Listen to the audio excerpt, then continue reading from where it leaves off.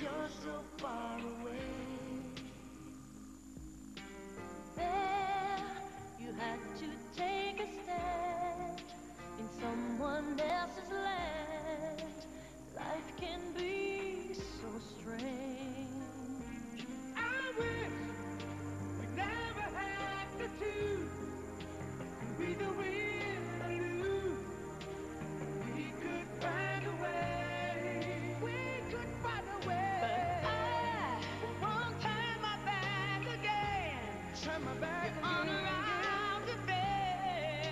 So hurry home, Jim.